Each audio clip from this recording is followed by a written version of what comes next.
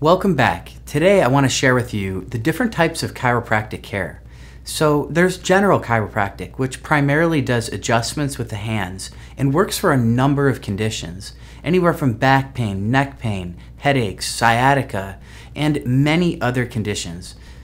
Then there's upper cervical chiropractic, which really specific and gentle adjustments are delivered primarily to C1 in order to allow the nervous system to function optimally between the brain and the body. Another branch of chiropractic is called chiropractic biophysics, or CBP.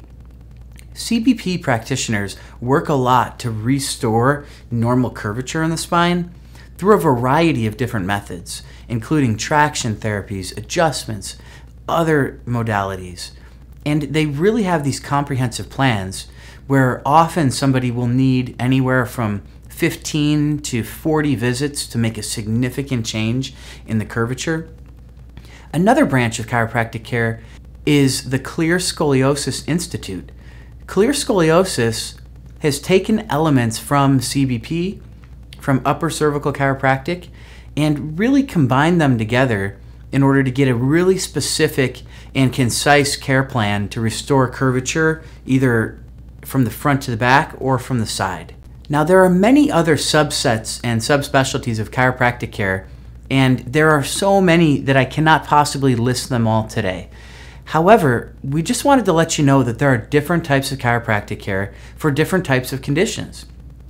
Some chiropractors may even do primarily nutritional therapy, and they can test a level in your spine or how an organ system is working, and then advise you on what supplement that you might need to restore some part of health that just isn't working correctly for you now.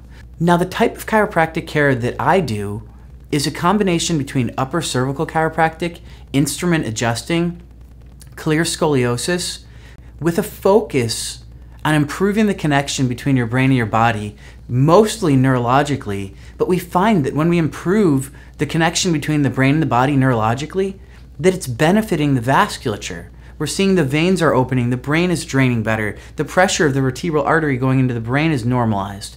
And we're just getting so many profound results from optimizing the curvature in the cervical spine, which also often means making sure it's correct in the thoracic spine, and getting people's bones in alignment with very specific and gentle adjusting.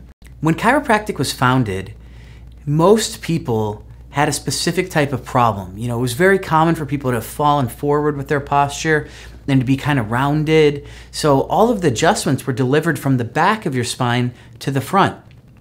Now, this has worked amazing for the last 100 years until technology changed everything.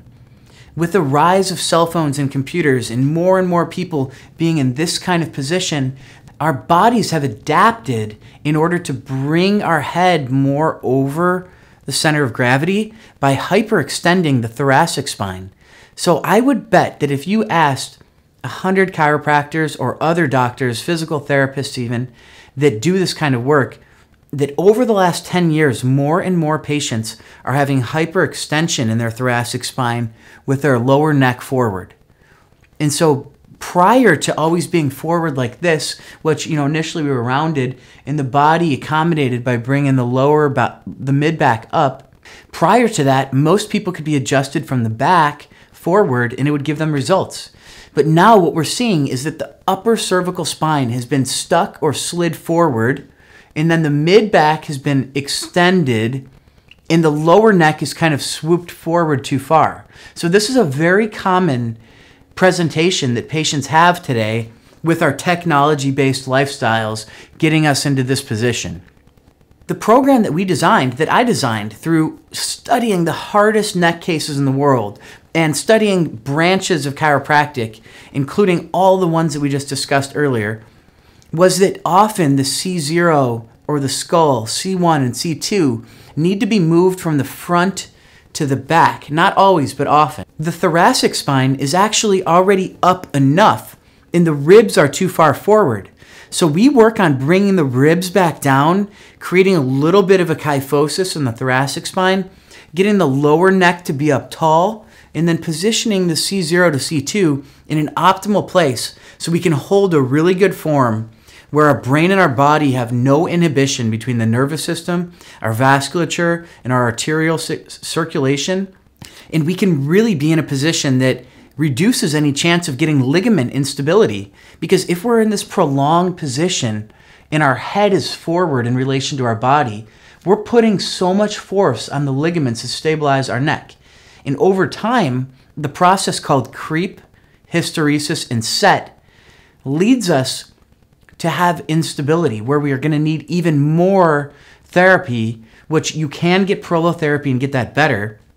But if you're somebody that just knows that you're starting to fall for the forward head position and you get an occasional headache or a lightning zap pain, or you just feel uncomfortable and you're always trying to self adjust and you get so tired by the end of the day and you never used to, then really consider starting with our simple curve correction program where we can prevent the chances of you getting progressively worsening posture leading to more invasive therapies that sometimes require surgical stabilization. The kind of chiropractic that we practice is a combination of using digital motion x ray to obtain an accurate diagnosis, a detailed palpation, taking into consideration the changes in the average human from our modern lifestyles of technology, where the lower neck often has fallen forward, the upper bones have shifted off where they should be, and the upper thoracic spine is in an extended state. Many people are stuck in this position nowadays.